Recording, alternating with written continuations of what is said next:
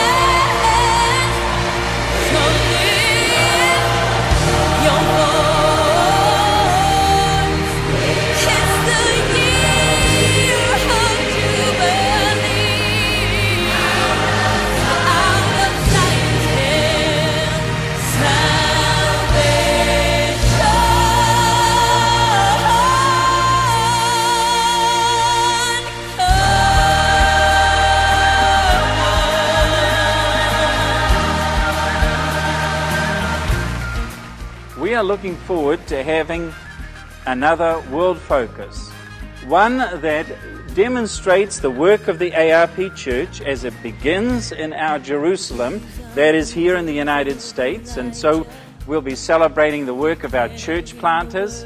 We'll be celebrating the work of, of uh, Christian education, of Erskine, but then going all the way through to the ends of the earth and, and celebrating the work of our ARP missionaries around the world. So this is going to be in 2014 a real special opportunity. This building will be filled up with booths. I anticipate it will overflow outside this building and will go on to tents outside here in the in the campground area so that you will be able to actually see and to meet the missionaries and the the people who are doing ministry in our ARP denomination. I think it's going to be an exciting time. I'm looking forward to it. It's it's one of those things where you'll be able to meet them and greet everybody and find out exactly from them what they are doing. And you'll see an amazing amount of work that God is doing in, in the ARP or through the ARP denomination. The dry bones becoming as. And these are the